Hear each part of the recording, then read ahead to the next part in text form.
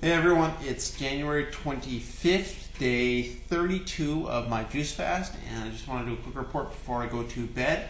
Um, I'm increasing my juice intake even more. Um, I really uh, am worried about losing weight and I'm going to be drinking more fluids.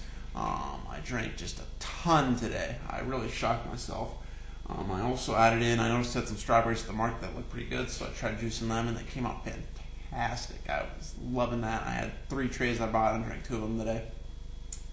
Um, I am feeling fantastic. Um, I've increased my exercise as well. Me and my uh, girlfriend, she likes to do aerobics, and we've started. Uh, she's downloaded some aerobics videos online. I do the aerobics with her.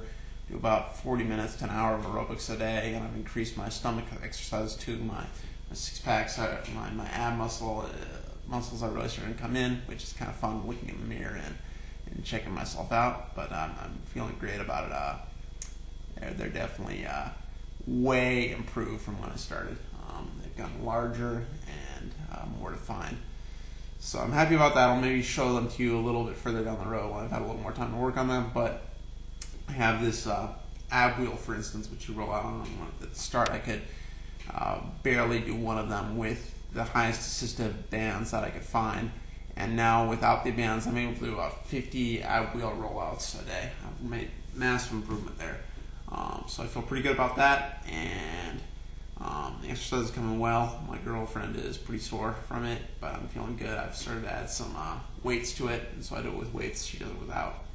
Um, but yeah, things are going good. Um, I feel fantastic. Um, every day I feel better. I feel like I'm getting stuff out of my body. I'm considering also doing some uh, trips to the sauna to to try and soak out even more or sweat out even more of the toxins in my body.